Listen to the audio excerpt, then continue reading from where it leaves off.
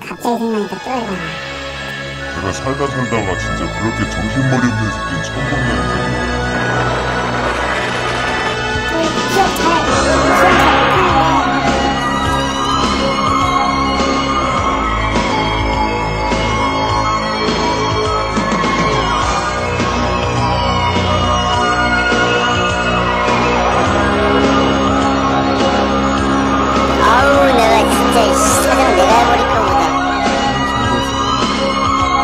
시냐고 지금.